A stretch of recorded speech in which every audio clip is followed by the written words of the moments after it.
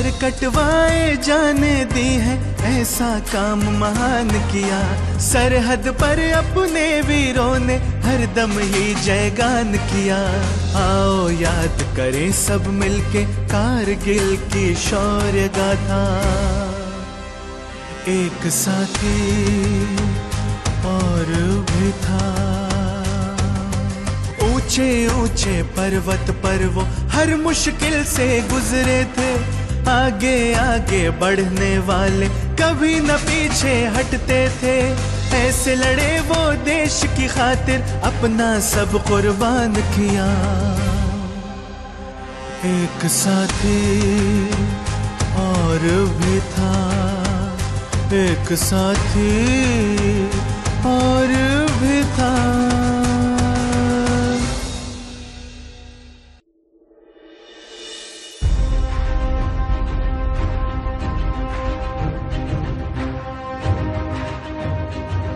जय हिंद। नमस्कार, मैं श्रेयस सर्पदेव कारगिल की शौर्य गाथा एक साथी और भी था। इस शो में आप सभी का स्वागत करता हूँ। जनाब, मंजुल मिश्र मंजर का एक गीत उखाड़ दें उखाड़ दें, जड़ों से अब उखाड़ दें। चलो तो आज दुश्मनों के हौसले पछाड़ दें। सदा हमारी ओर वक्र दृष्टि से है देखता। हमारे आंगनों में बम के गोले रोज फेंकता। दिखाओ जब सबूत झूठ बोल बोल ऐठता। उन्हीं के घर में घुस के उनकी ज़िंदगी उजाड़ दें। उखाड़ दें उखाड़ दें, जड़ों से अब उखाड़ दें। कभी न नीचता से बाज आया है ना आएगा। वो दुश्मनों के साथ मिलके आँख भी दिखाएगा। विशैले सर्प की तरह सदैव फन उठाएगा। कुचल के उसका फन चलो ज़मीन में ही गाड़ दें।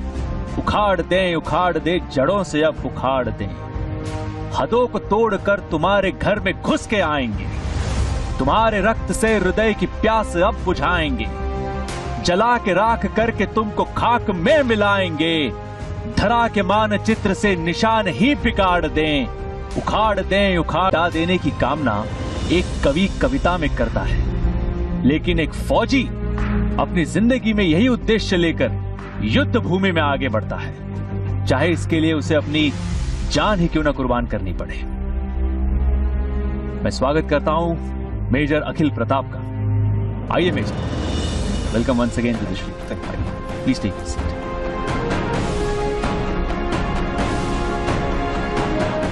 आपका हार्दिक स्वागत है मेजर साहब। दर्शकों मेजर अखिल ने सेना के कई महत्वपूर्ण ऑपरेशंस में भाग लिया है। ऑपरेशन पराक्रम के आप हिस्सा रहे।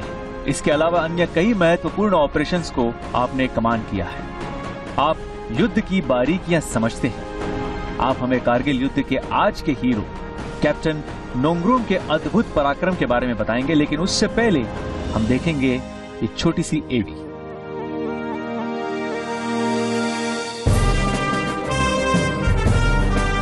महावीर चक्र से सम्मानित भारत माँ के सुपूत कैप्टन केशिंग क्लिफोर्ड नुंगरुम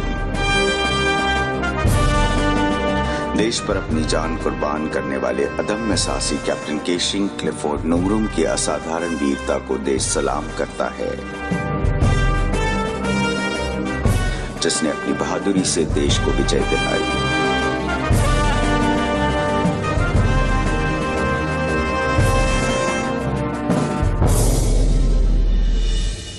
शुरुआत फिर दो लफ्जों से करते हैं। चल जलसात के हसरत दिले मरहूम से निकले। चल जलसात की हसरत दिले मरहूम से निकले। सैनिक का जनाजा है साहब निकले तो जरा धूम से निकले। क्या बात है क्या बात बिल्कुल।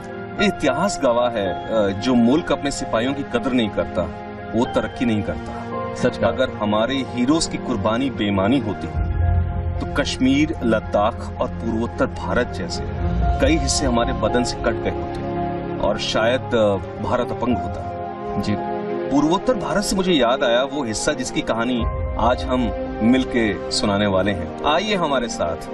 हाथों में हाथ अपने एक और साथी की बात। महावीर चक्र से सम्मानित कैप्टन केशिंग क्लिफोर्ड नोंगरुम। पूर्वोत्तर भारत में एक बेहद खूबसूरत राज्य है मेघालय। बिल्कुल मेघालय। जी। मेघों का आलय। बिल्कुल। यानी बादलों का घर। जी। वैसे तो पूरा नॉर्थ ईस्ट ही मनमोहक का रोचक है क्यों जी? जी बिल्कुल सही कहा आपने। पर चूँकि इस राज्य से मेरी कुछ मीठी यादें जुड़ी हैं तो वो शेयर करना चाहूँगा कि इंडियन आर्मी में अपना पहला प्रमोशन एग्ज़ाम मैंने यहीं दिया था। और बडलू राम की असम रेजिमेंट जिसके बारे में अपन ने बात की थी वो यही है।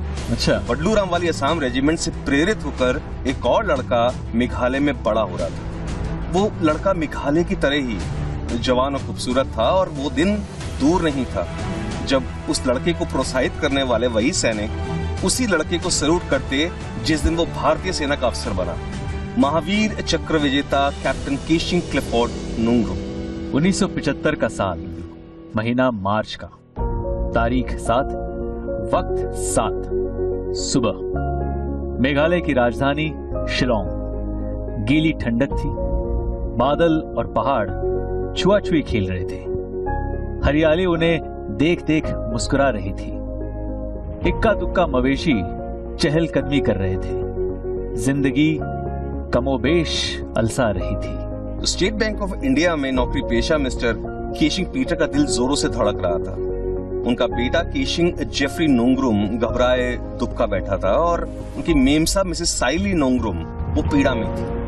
तीखी हवाएँ उनके मकान के दरीचों को तेज़ी से भेद रही थीं और यही हवाएँ अपने साथ एक महावीर चक्र लिए साइल की कोख में प्रवेश कर गई। एक नागा और एक खासी के घर एक गोल मटोल बच्चा आया था। उसे अस्पताल की ज़रूरत नहीं पड़ी बाई देवे वो घर में ही पैदा हुआ था। अच्छा। जी और नाम रखा गया बहादेंग। बहादीन बहादेंग एक खासी भाषा में बोलते हैं। ओके। मतलब छोटा बच्चा या मंझला बच्चा। ओके। सबसे बड़ा जेफरी यानी बाबा सबसे छोटा पॉल यानी बहरीत और उनके बीच का क्लिफोर्ड यानी कैप्टन नुंगरुम कैप्टन नुंगरो। जी। मेघालय का खासी समाज मातृ सत्तात्मक और मातृवंशीय है। माने औरत प्रधान। यहाँ माँ का नाम उपनाम और संस्कार मिलता है बच्चों को। माँ सर्वोच्च मानी जाती है। व्यक्तिगत रूप से मुझे भी ये माकूल लगता है। ये हमारे जो मेजर है इनके नाम में भी डबल एल है। Okay? A K H I double L एक एल माँ का है। बिल्कुल। पिता से सीनियर होती है माँ। हर माँ अपने बच्चे को उसके पिता और समाज से नौ महीने पहले से जानती है भाई तो उसका हक ज़्यादा हुआ कि नहीं? बिल्कुल हाँ? बिल्कुल। तो तो केशिंग क्लिफोर्ड नोंगरुम के नाम में माँ बाप दोनों हैं। और घर की भाषा यानी उनकी माँ उनकी मातृभाषा खासी जो उनकी माँ की भी मातृभाषा है। जी। जी। और शिलोंग के डॉन बास्को टेक्निकल स्कूल में एक सड़क पकड़ के क्लिफोर्ड अक्सर फौजी इलाकों की ओर तफरी करने निकल पड़ता था। हैप्पी वैली की तरफ़ और उसे अच्छे लगते थे फौजी। इतने अच्छे कि आज वो सड़क क्लिफोर्ड नोंगरुम रोड कहलाती है। वही सड़क आज उनके नाम से जानी जाती जी। और फौजियों के साथ फुटबॉल खेलते खेलते वो बड़ा हुआ और बॉक्सिंग का चाव रखने वाले इस शर्मीले पर मज़बूत पहाड़ी युवक ने सेंट एंथनीज कॉलेज से रास्ता पकड़ा ओ टी ए का officers training academy Chennai. Chennai. Chennai. हमारे पूर्व प्रधानमंत्री श्री अटल बिहारी वाजपेयी जी ने एक कविता लिखी है। भारत ज़मीन का टुकड़ा नहीं है जीता जाता राष्ट्र पुरुष है वाह। हिमालय मस्तक है, कश्मीर गिरिट है। ये चंदन की भूमि है, अभिनंदन की भूमि है। ये तर्पण की भूमि है, ये अर्पण की भूमि है। इसका कंकर कंकर शंकर है, इसका बिंदु बिंदु गंगा जल है। हम जिएँगे तो इसके लिए, मरेंगे तो इसके लिए। भारत के लिए मरने वाले सैनिकों की गाथा हम इस शो के द्वारा आप तक पहुँचा रहे हम कैप्टन नुंगरुम की असाधारण वीरता के बारे में सुनने से पहले जान लेते भारतीय सेना अफसरों से कैप्टन नुंगरुम के बारे में। आइए देखते ये मुझे एक वाक्य याद है। जब point four eight one two में कैप्टन क्लिफर्ड शहीद हो गए तो उनकी शहादत की सूचना आर्मी हेडक्वार्टर के थ्रू आर्मी हेडक्वार्टर के एक मेजर जनरल ने कैप्टन मिस्टर पीटर्स जो कि कैप्टन क्लिफर्ड के फादर थे उनको दी। उससे अगले दिन आर्मी हेडक्वार्टर से जनरल जनरल साहब ने मेरे को फ़ोन किया और उन्होंने बताया कि मैंने अ, मिस्टर पीटर्स को कैप्टन क्लिफर्ड की शहादत की जब खबर दी तो एक बार इनिशियल शॉक के बाद में कैप्टन पीट, मिस्टर पीटर्स ने बोला कि जनाब आप पल्टन के कमांडिंग ऑफिसर कर्नल बालोटिया को मेरा ये मैसेज ज़रूर पहुँचा दें पहुँचा दें कि क्लिफर्ड की डेथ का हमें दुख है, लेकिन मेरी उनसे गुजारिश है कि जो पल्टन को जो टास्क मिला हुआ है, उसमें कोई कमी ना आने दें और इस सेटबैक को भूल के बहादुरी से आगे बढ़ते रहें। ये सोचने विचारने का टाइम बाद में आएगा। अभी हमने सुना कर्नल भलोतिया को। मेजर साहब, आप अब हमें कैप्टन नुंगरुम की रेजिमेंट के बारे में बताइए। जी बिल्कुल। 5 सितंबर उन्नीस ऑफिसर्स ट्रेनिंग एकेडमी से कमीशन प्राप्त करके second lieutenant Keishing Clifford Nongrum ने अंतिम पग लिया Jammu and Kashmir light infantry की पलटन 12 जैकलाई की ओर। आज़ाद भारत की पहली light infantry regiment Jammu and Kashmir light infantry. जी। मार्च उन्नीस सौ निन्यानवे की शायद बात है। अ, शायद नहीं उसी की बात है। सियाचिन ग्लेशियर में अपनी पहली पोस्टिंग के दौरान वो छुट्टी पे अपने घर लौटे और अपने बड़े भाई की शादी में गए थे। सेकंड लेफ्टिनेंट नोंगरुम अब लेफ्टिनेंट नोंगरुम बन चुके थे और इस खुशनुमा माहौल के दौरान भी वे शिलोंग के स्कूल और कॉलेजेस में यदा कदा चले जाते थे। युवकों और बच्चों को तकरीर देने के लिए नो उनसे इंस्पायर करने के लिए। और उन्हें विश्वास था कि अपने पूर्वोत्तर प्रांत को समूचे भारत से जोड़ने का एक उम्दा तरीका है और कि, कि वो भारतीय सेना से जुड़े जी। अप्रैल 1999 में क्लिफोर्ड अपनी पलटन वापस लौट गए। केशिंग नोंगरुम परिवार को अपने बेटे और भाई की मुस्कुराहट में उनकी गिटार के तार हारमोनिका के सुर और उनका बनाया हुआ खाना याद आने लगा। उन्हें शायद पता होता कि वो अपने बहादीन को आखिरी बार देख रहे हैं तो शायद वो उन्हें रोकेंगे शायद। लेकिन किसी के रोकने से सैनिक कब रुका करता है? उसे तो बस एक ही पुकार की ज़रूरत होती है धरती की पुकार। बस वो निकल पड़ता है फना होने के लिए। कैप्टन नुंगरुम भी परिवार को छोड़कर चले आए। कारगिल के अपने उस मिशन पर जहाँ बहुत कुछ उनका इंतज़ार कर रहा था। 9 मई 1999 की बात है। बारह जैकलाई को बटालिक जाने का हुक्म मिला। उन्हें ताज्जुब हुआ क्योंकि अपना कार्यकाल पूरा करके पलटन का अग्रिम दल लद्दाख से दिल्ली की तरफ़ कूच कर चुका था। अपनी पीस पोस्टिंग। पर हम्म, पर आला कमान के हुक्म से पलटन समझ गई कि दाल में कुछ काला है। पलटन पलटी। पता चला कि गुरु को गुड़ मान के चेला शक्कर होने की फिराक में है। मतलब हमारी कोक्स हमारे घर से निकला बच्चा हम्म। हमारे ही मुंडेर से बेदखल करने के चक्कर में हम। ऐसो को बच्चा नहीं आस्तीन का सांप कहते हैं। और आस्तीन के सांप का आप जानते ही हैं कि इलाज होता है उसे कुचल देना। हम्म, जहर तो जाएगा नहीं कमजर्व का। तो बटालिक जम्मू और कश्मीर का अति दुर्गम क्षेत्र दुश्मन की मोर्चेबंदी और सैनिक कार्रवाई का गढ़।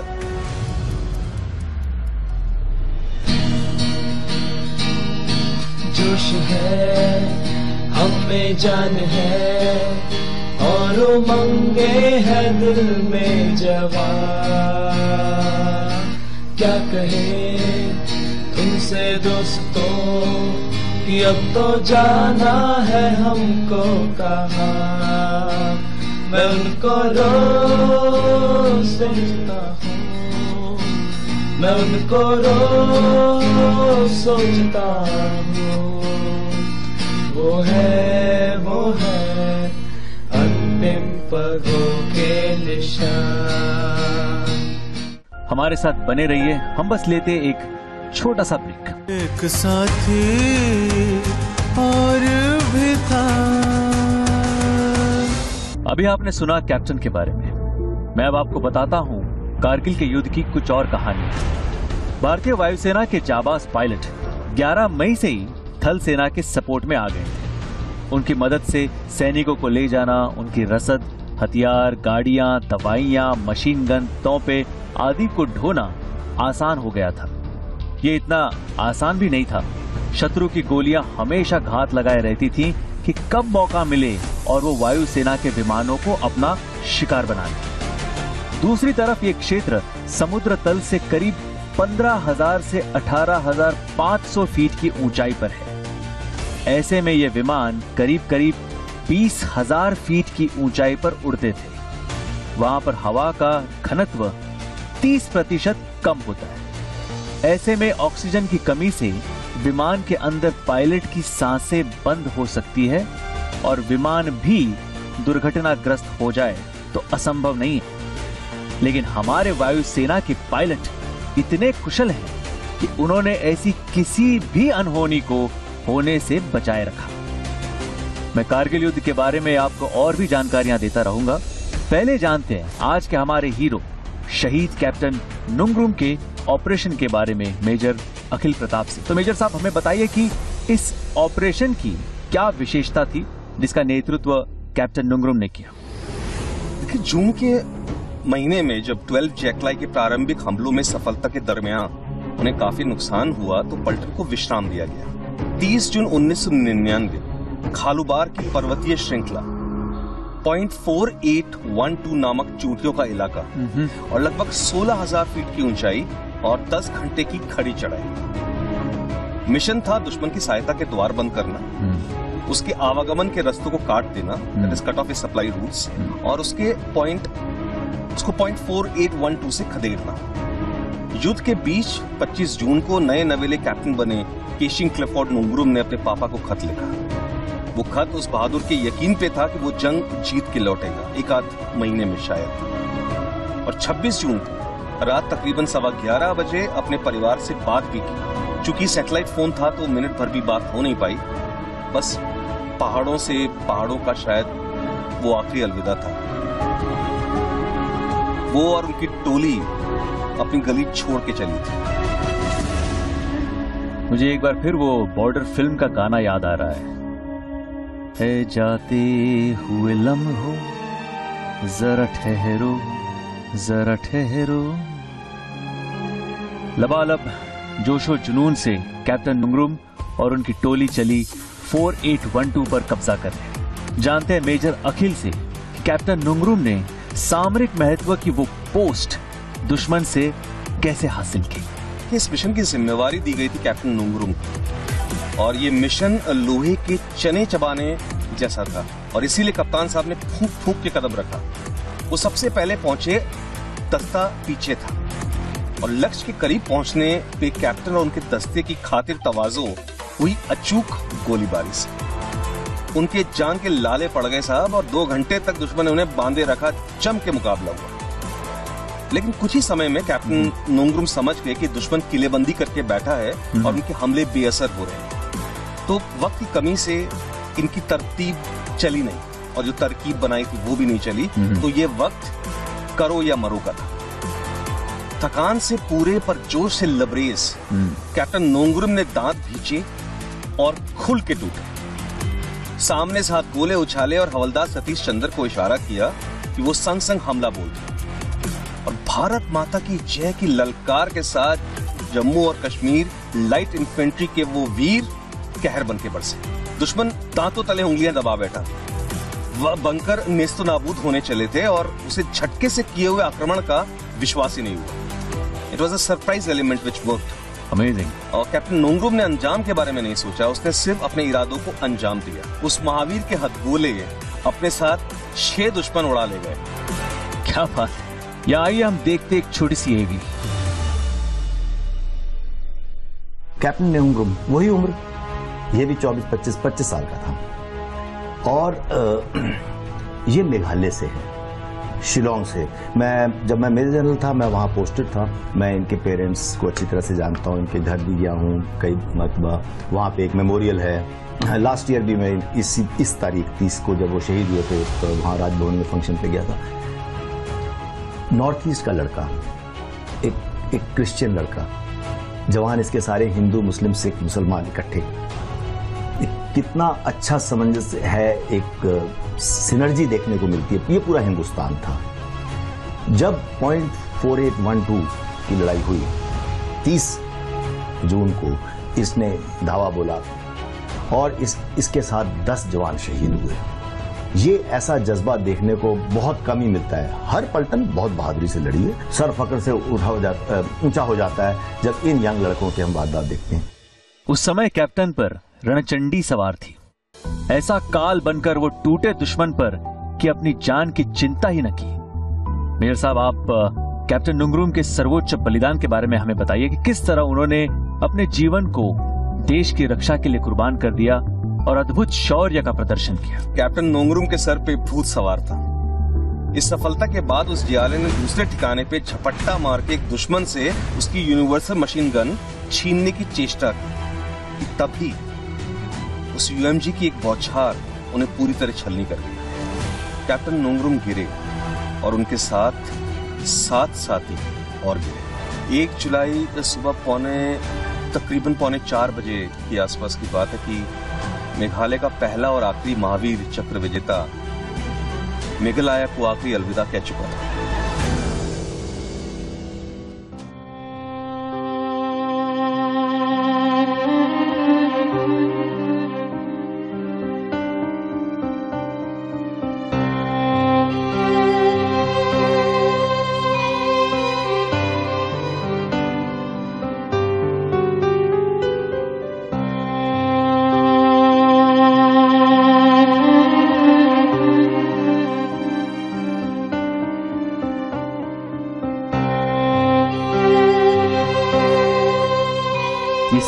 कहानियाँ बेहद रोमांचक और बहुत इंस्पायर करने वाली है। कहीं मत जाइए हमारे साथ बने रहिए।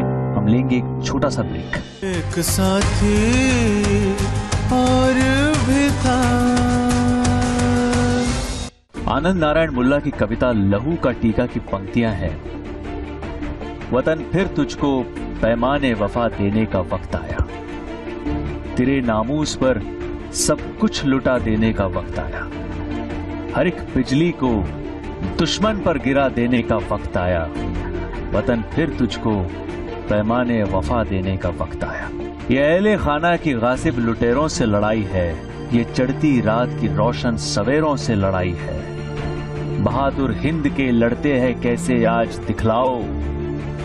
रिवायात सुजाआत को नए कुछ बाप दे जाओ। मिटो तो दास्ताने हो जियो तो ताजदार आओ। लहू का, माँ को फिर टीका लगा देने का वक्त आया। वतन फिर तुझको पैमाने वफा देने का वक्त आया। क्या खूब लिखा है। कैप्टन नुंगरुम वतन के माथे पर अपने लहू का टीका लगाकर फना हो गए। उनकी जीत से सेना की जो जीत दर्ज हुई वह हमेशा रहेगी। उनके बलिदान को हम कभी भुला नहीं सकते। अब आइए मिलते हैं कैप्टन नुंगरुम के परिवार से। वो जब अ, हम लोग छोटे थे वो मतलब आर्मी बनने के आर्मी ज्वाइन करने के लिए बहुत शौक था क्योंकि ये जो हम लोग का जो एरिया है शिलोंग में जो आर्मी बेस है वो ठीक हम लोग का घर का पास में ही है और क्लिफर्ट डेली वो आर्मी को कैस, ट्रेनिंग कैसा करते हैं और उन लोग का, उसका लाइफ स्टाइल को देख के मतलब उसको बहुत इंस्पायर हुआ कि वो भी एक एक दिन तो आर्मी में ज्वाइन करना है। I come to know that he had mission for combined defence and he was successful and after that he uh, informed me that uh, I have already passed this exam. Should I go to army? He asked me, and I called my wife also, and we sat together and we uh, decided that he should join the army. जुनून कहे या पागलपन captain और उनके साथी 4812 की post पर कुर्बान हो गए लेकिन उनके इस असाधारण जोश से शत्रु की वो पोस्ट हमारे कब्जे में आ गई। मेजर साहब बताइए कि उस पोस्ट को हासिल करने के बाद भारतीय सेना ने क्या एक्शन लिया? उस दिन दूर शहर शिलोंग में बादल फटा था और बारिश रोई थी। पर कैप्टन केशिंग क्लिफोर्ड नोंगरुम की वीरगति का बदला उसकी पलटन ने लिया। उन्होंने मुकाम नहीं छोड़ा और अपने मिशन पॉइंट 4812 पे 3 जुलाई को पुख्ता तौर पे कब्जा कर लिया। इस हमले में पाकिस्तानी सेना का एक सैनिक पहली बार बंदी बनाया गया था Naik Inayat Ali president of war अच्छा। या। कौन कमबख्त कहता है कि सिर्फ़ शादियों में सेज बिछती है? कौन कम्बक कहता है कि सिर्फ़ बेटियाँ ही विदा होती हैं? बेटे भी विदा होते हैं। अलबत्ता कुछ बेटों की सेज तिरंगे में रंगी होती है। आसाम के गुवाहाटी से 22 मील दूर राष्ट्रीय राजमार्ग पे शिलोंग की ओर आते हुए उमलिंग नामक गाँव में आपको इसका सबूत मिल जाएगा। Kargil martyrs service station, captain Keishing Clifford Nongrum की सेज है। फौजी शिकायत नहीं करते, क्योंकि वो ड्यूटी करते हैं। क्या आप अपने सैनिकों को समझ सकते हैं? अगर समझ सकते हैं तो याद रहे। कैप्टन केशिंग क्लिफोर्ड नोंगरुम थे तो हम हैं। अगर समझ सकते हैं तो याद रहे। एक साथ ही और भी था। धन्यवाद, मेजर अखिल प्रताप। कैप्टन नुंगरुम के बलिदान ने दिखा दिया कि जो वीरता असाधारण होती है, उसका परिणाम भी असाधारण ही होता है। उनकी शौर्य की गाथा हमें हमेशा प्रेरित करती रहेगी।